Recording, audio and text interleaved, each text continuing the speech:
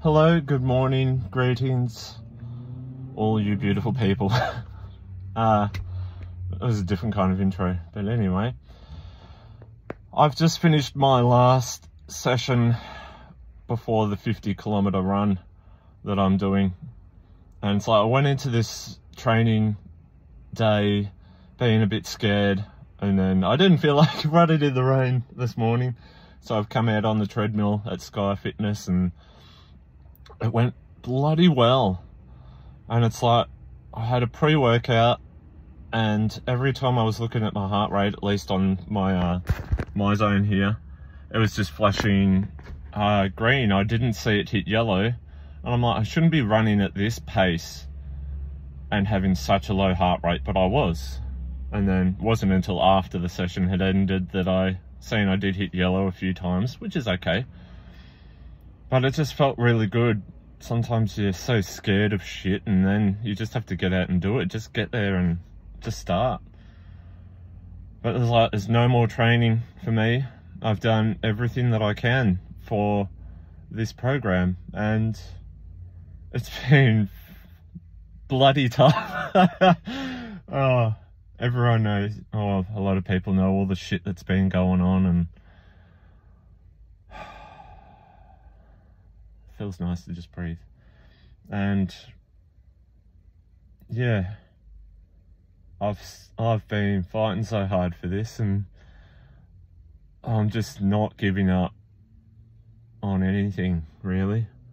So all I've got left to do now is just keep eating healthy, stay hydrated,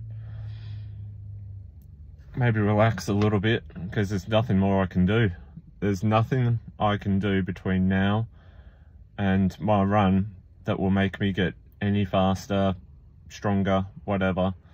It's all just being as fresh as I can for the day. And right now, after running nine and a bit Ks on the treadmill with the last 500 meters at four minute pace, so I'm extremely surprised how my feet feel right now, and I think getting on the treadmill and not having that high impact on the concrete is probably the best thing I could have done. So, anyway, that's me. Um,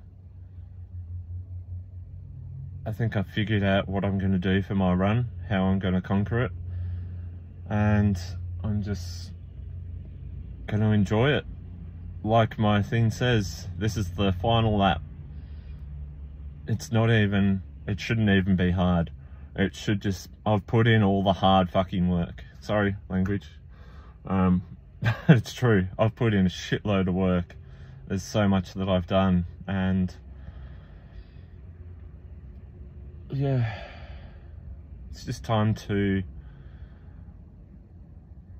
be still, relax, breathe, eat some food. I've just had a honeycomb protein shake and had a chat.